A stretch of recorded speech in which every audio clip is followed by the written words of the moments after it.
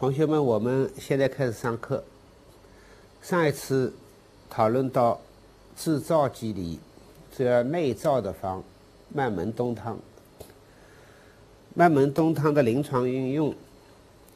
后面我们要啊，接着上次讲的辨证要点、随增加减基础上呢，讨论一下这个这个方里边的人参啊。在临床使用时候，现在很多人喜欢把它换为西洋参，因为西洋参偏重于行霜补，这个偏一点微寒，所以对这个症候呢更为适合。这个方在使用当中要注意的，肺痿它有虚寒、虚热不同的症型。对于虚寒肺痿呢？本质上阳气不足，导致津液不化不布，所以像张仲景用甘草干姜汤这一类治疗是不能用麦门冬汤，所以这个遇到虚寒肺痿呢是不适宜的。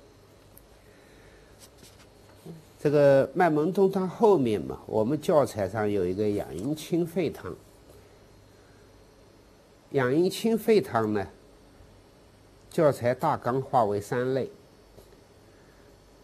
这是由于整个的这个按照方剂常用情况的这个啊一个呃来区分的。这个养阴清肺汤呢，过去是作为二类方，立版教材作为二类方。我们现在做个重点提示，以便临床应用时候呢，这个也可选用。在我们教材二百八十五页。养阴清肺汤，这个方过去是治疗白喉的一个主方，也是它的特长，治疗主症的是白喉。白喉呢是烈性的甲基传染病，现在在我们中国大陆呢已经基本控制了。白喉的症状。也就是这个养阴清肺汤主治白喉，后面我们教材上写的喉间起白如腐，咽喉肿痛，鼻干唇燥，咳或不可，呼吸有声，似喘非喘，脉细数，或呢数而无力。那白喉这个病的形成呢，从病因病机来讲，病因和它的内外因素有关。素体阴虚，也就这类患者呢，本身内燥，有阴虚阴液不足这个基础，又感受外来的燥气郁毒，燥气郁毒就外来的传染因素，在内外和谐啊，造成了呢这个郁毒啊，组织在咽喉。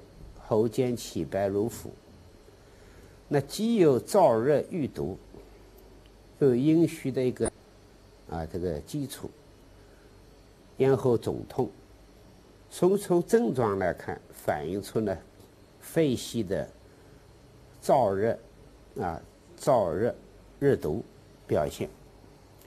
所以养阴清肺汤，它功用呢是养阴清肺。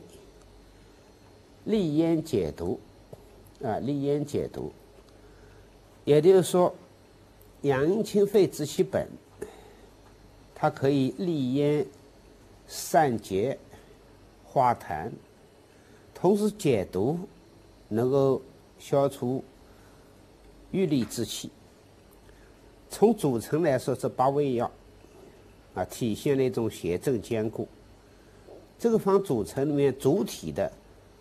有一个相当于后世把它叫针叶汤，我们前面讲的基础方针叶汤，生地玄参麦冬，在这个方里，这个针叶汤起到了滋阴清热的作用，而其中的玄参呢，还能散结解毒，散结解毒。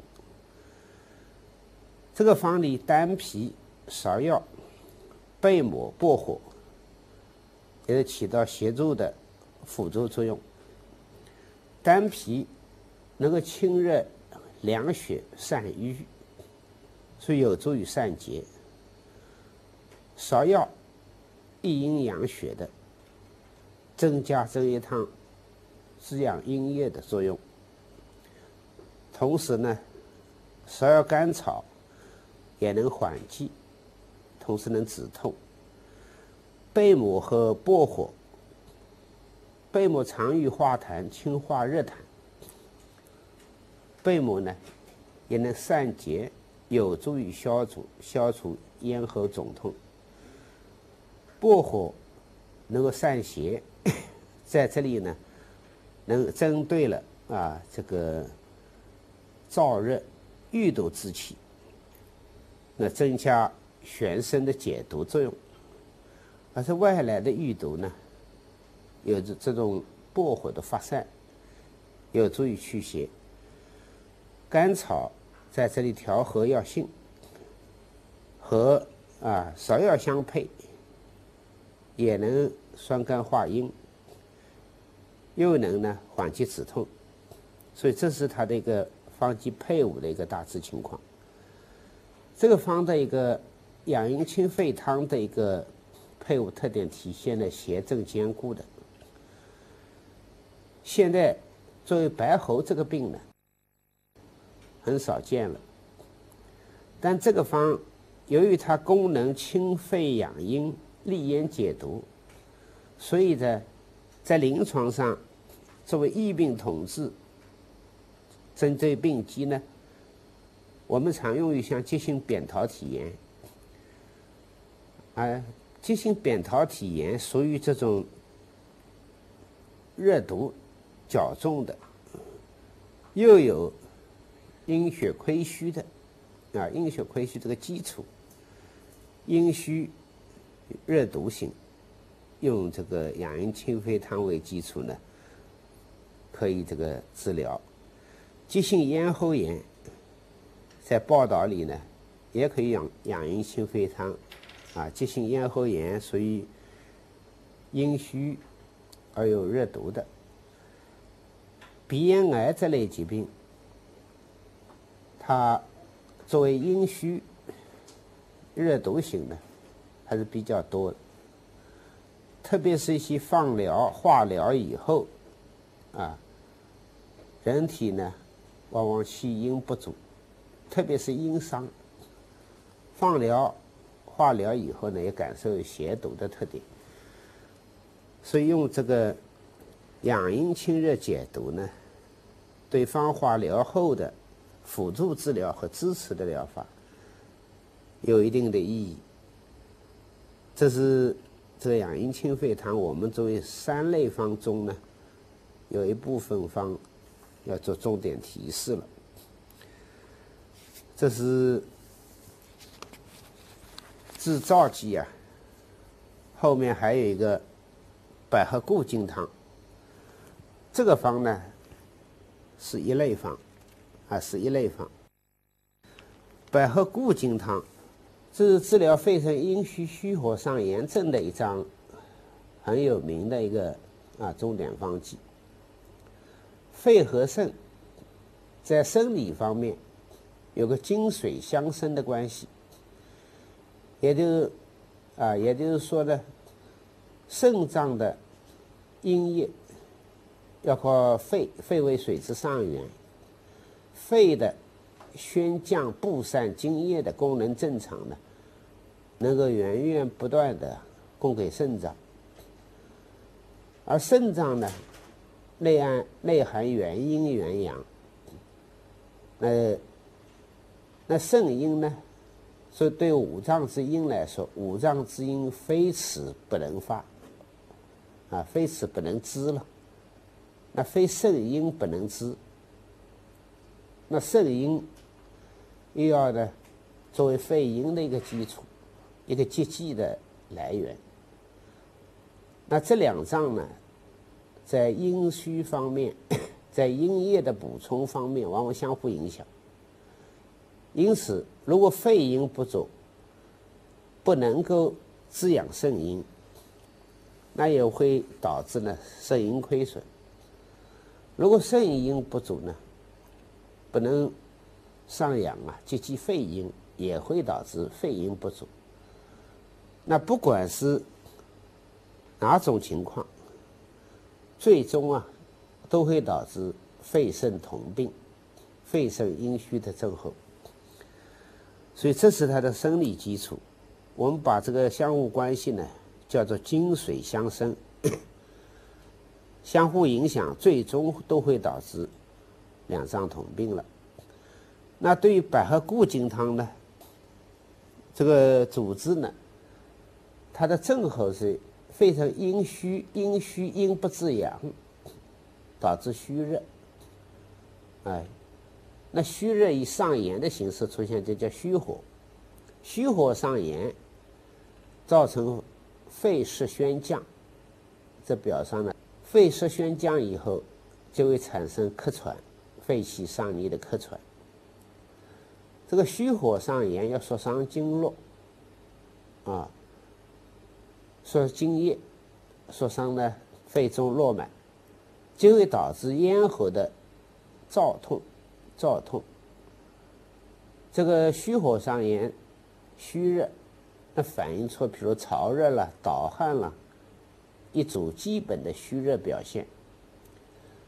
这个虚火灼伤肺络呢，可以咳嗽、痰中带血，啊。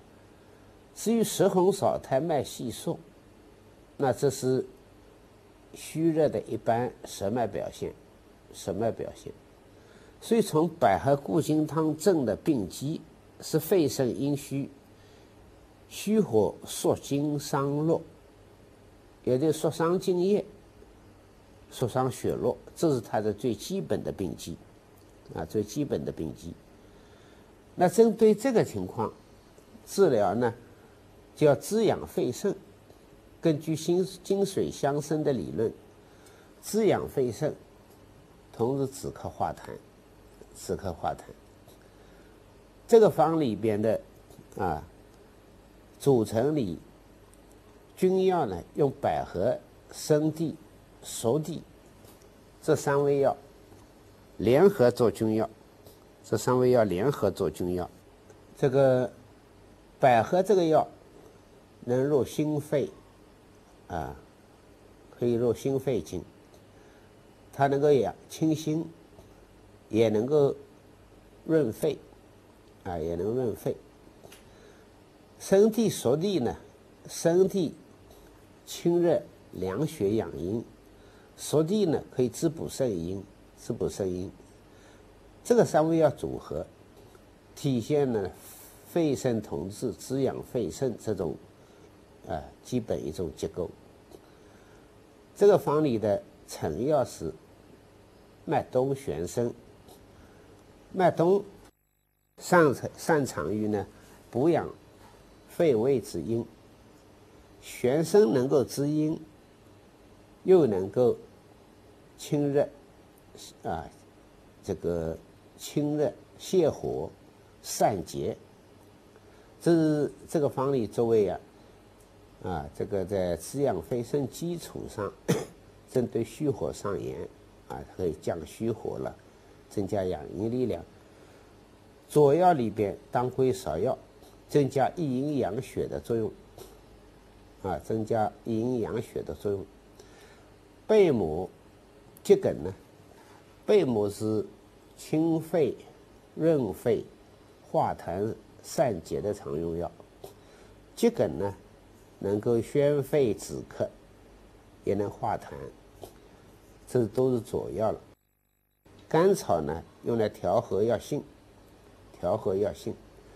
甘草和桔梗相配呢，还能够清理咽喉，啊，清理咽喉。整个这个方，百合固金汤呢，它是标本兼顾的，啊，它是标本兼顾。也就是说，既考虑到滋养肺肾、治其本，又考虑到呢，这个虚火上炎、缩精成痰，啊。一是，缩精成痰又能缩伤肺络，所以用它要降虚火。滋阴积存、降虚火、化痰散结。这是这个方的方义分析。从这个配伍来看，它的配伍特点，滋肾保肺，也就是说，它是肺肾同治、精水并调的。它是以精水肺肾同治之啊，精水并调呢，润肺止咳这里面为主，啊，以润为主。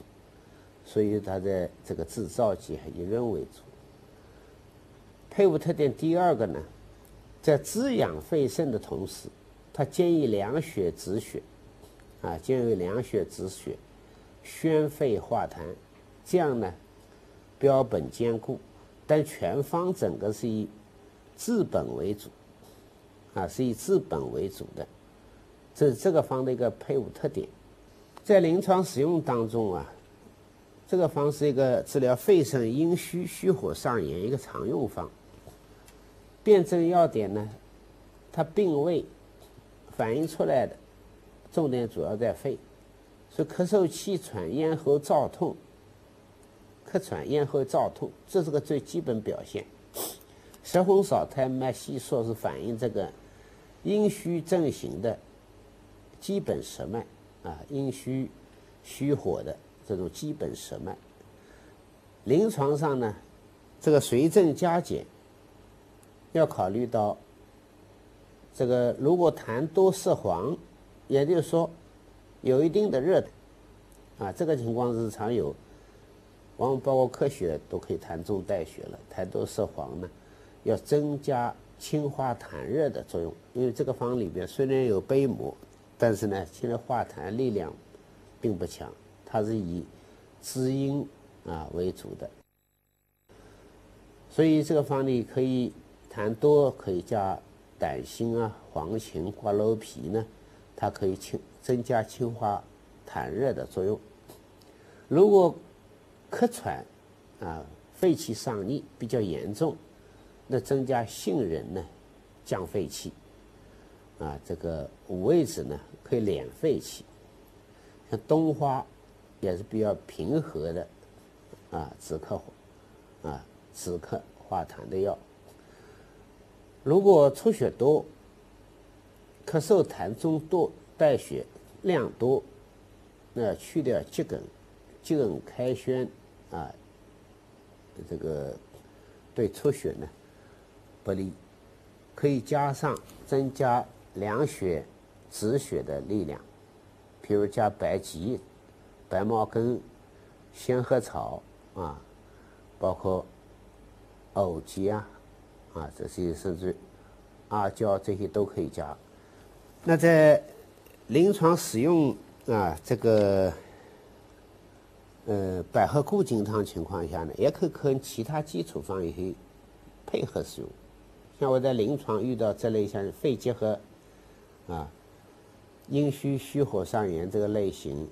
咳血量多，先啊色红，那这个可以和咳血方朱丹溪的咳血方，我们在前面理血剂的止血这一节里边讨论过，和咳血方合用，用这个方的同时呢，病人可以寒化，啊啊这个咳血方是个顽剂了，它是。用这种口里含化的方法，当然也可以把一定把这个药呢结合配伍在这个方里边，这两个结合使用呢，效果更好一些。下面我们讨论第十五章祛湿剂。这个祛湿剂在我们这个教材里边是很大的一个章节，因为湿病啊，在人体。啊，这个是很重要的一类疾病。我们说这个水湿为病，你看，整个我们地球上百分之七十也都是水，人体呢一个成年人也基本百分之七十都有左右都是水，这都是一个这种自然界这种全息这种特点。而疾病呢，很大一部分都跟津液的一个运行啊、化生啊、运行啊、代谢这个有关。所以水湿病变呢，呃，在很多疾病当中呢，都可以为主发生或者兼夹发生。这个，那作为水湿的病变，我们啊分类来讲，一般都用痰、饮、水湿四类来来归纳它。最基础的是湿，最基础的是湿。那湿呢，一般分类啊，的有湿热、寒湿这类性质的不同，啊，这类性质的不同。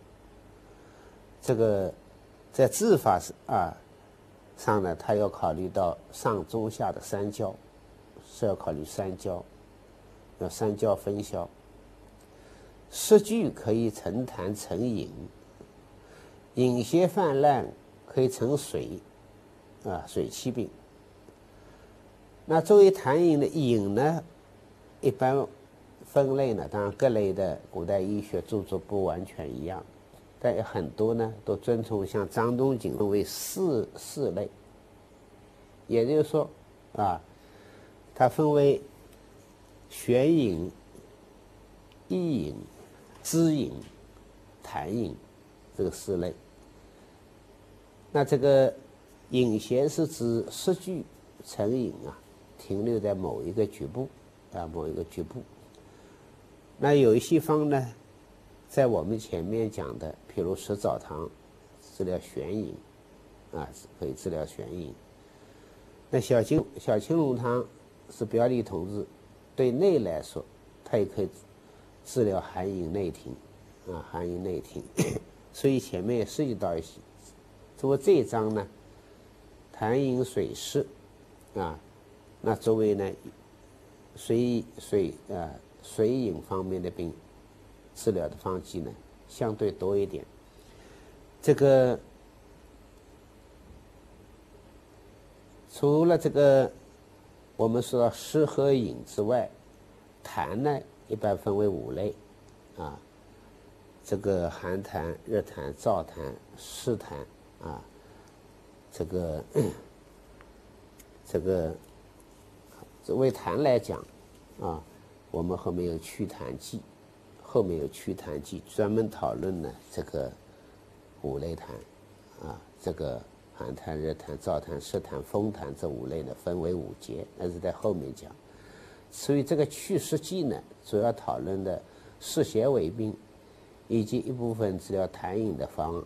以及治疗水肿病、水啊水气病的方，那水呢，一般分为阴水、阳水两类，啊，我们这个这个祛湿剂里治水呢，都是治往往以阴水这个呢为主，特别在在温化寒湿这一节里边，所以前面我们谈到了这个水湿为病，啊，这个大体的一些种类。和我们相关这一章节的一种这个安排的情况，从祛湿剂的定义来讲呢，凡以祛湿药为主组成，具有化湿利水、通淋泻浊等作用，治疗水湿病症的方剂，统称为祛湿剂。这是一个笼统的一个提法了啊。因为治疗水湿、水湿的病变呢，要一般来说都考虑三焦分消，都可以水湿以出路。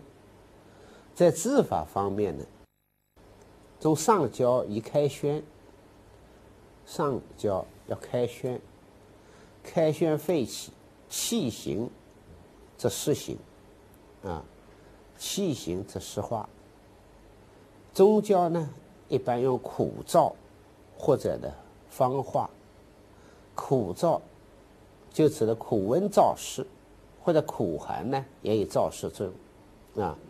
苦温针对偏于寒湿，苦寒呢针对呢湿热、清热燥湿。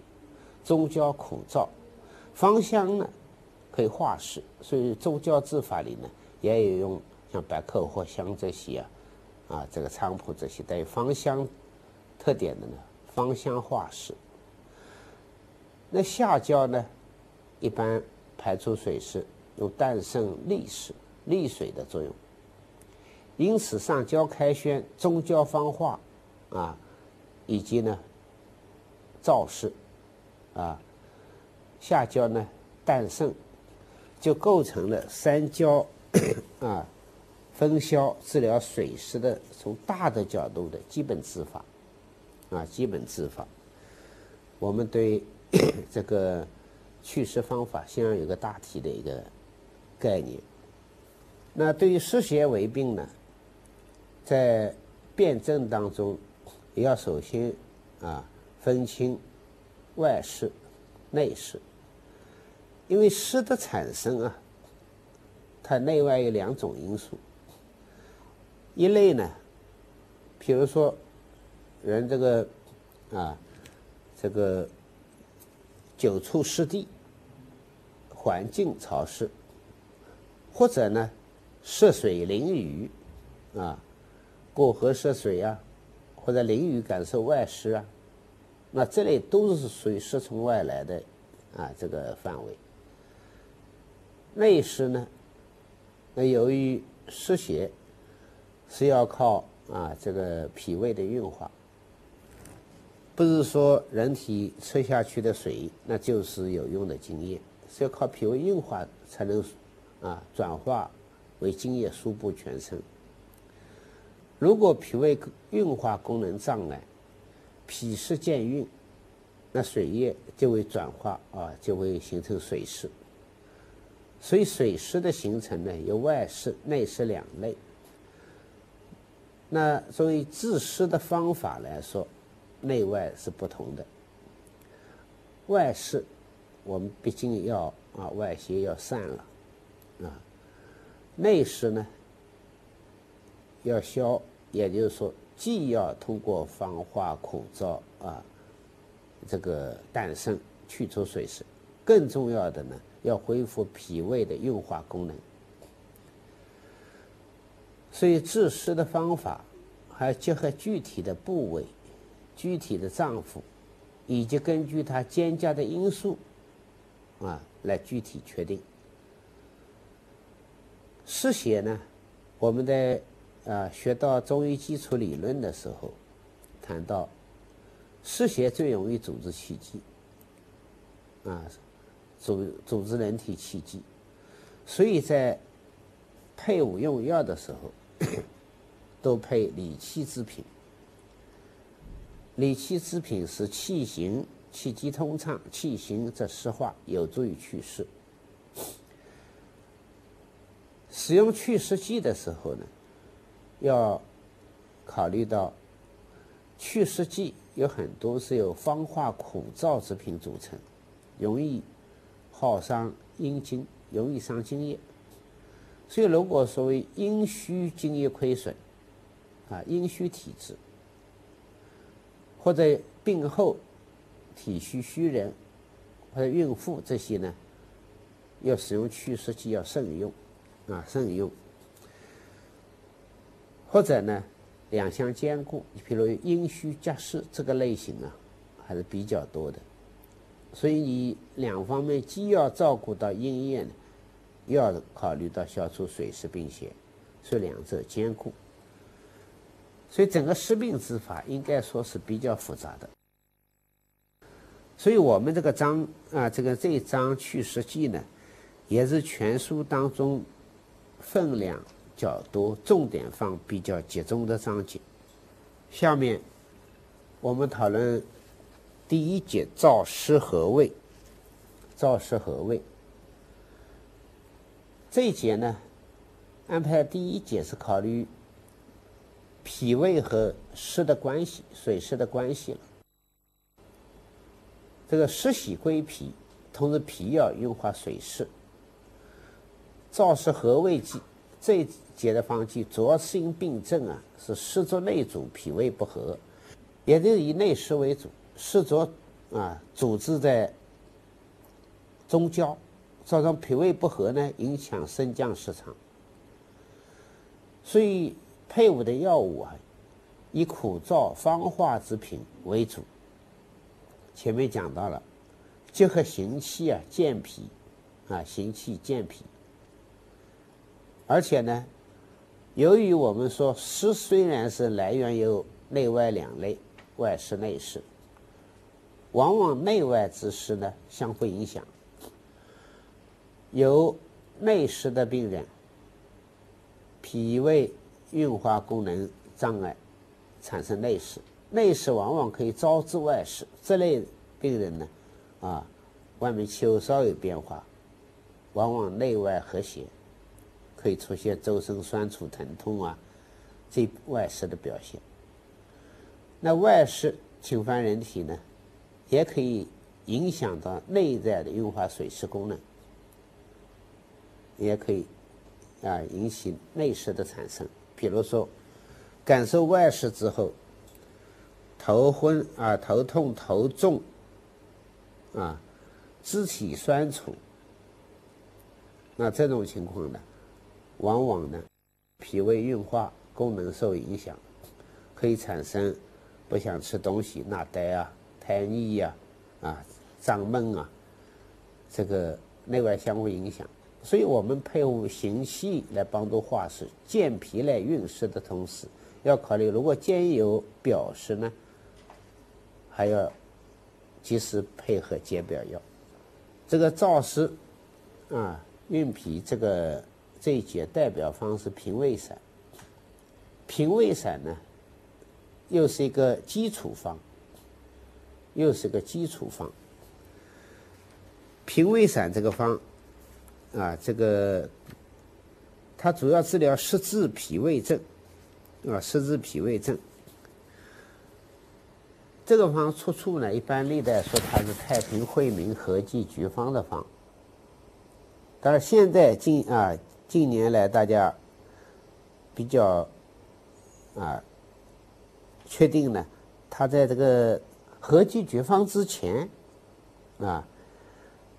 在简要在简要剂中方里边就有平胃散这个组成啊，这个组成。但由于合剂局方的影响较大啊，这个很多啊这个教材啊，还有很多资料呢就没有改过来，因为合剂局方是宋代啊一个相当于政府颁布的一个成药典了啊。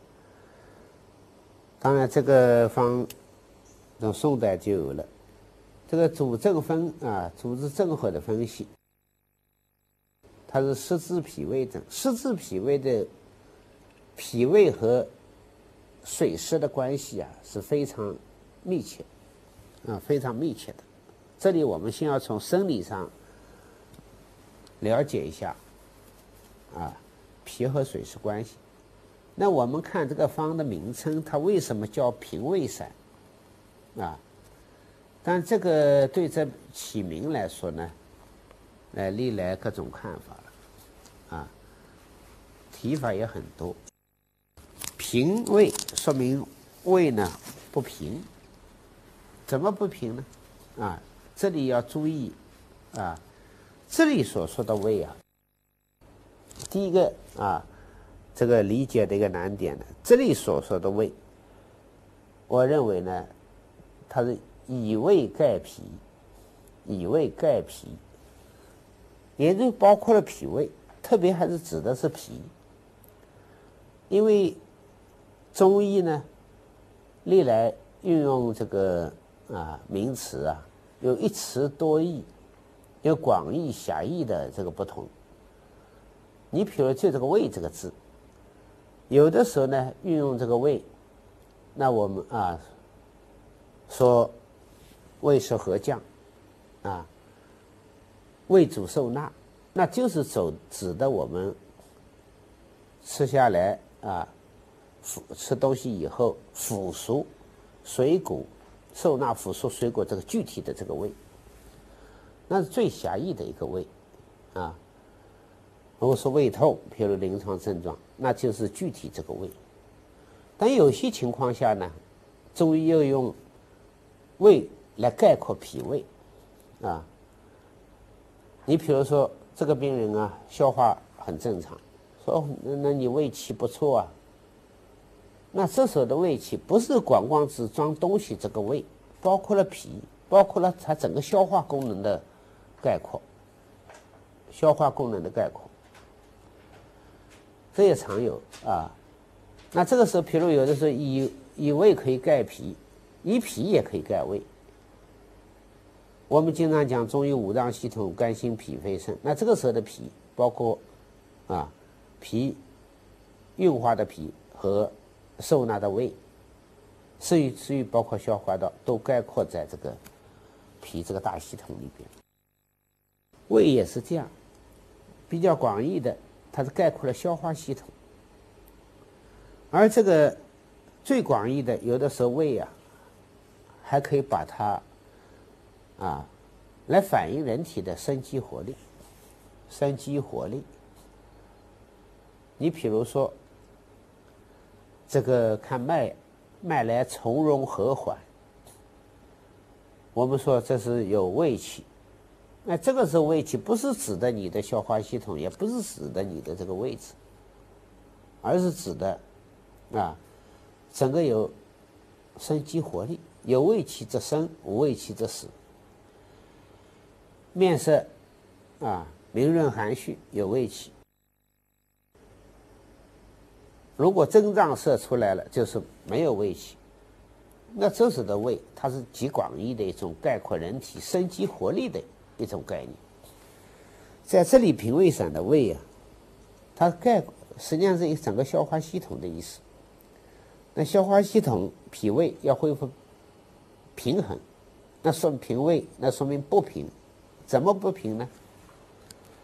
那过去古人举例子啊，说把这个比喻了，把这个脾和胃呢，比喻说土了，土生万物啊，高的地方叫敦腹，就是胃；低的地方呢叫卑贱，就是脾。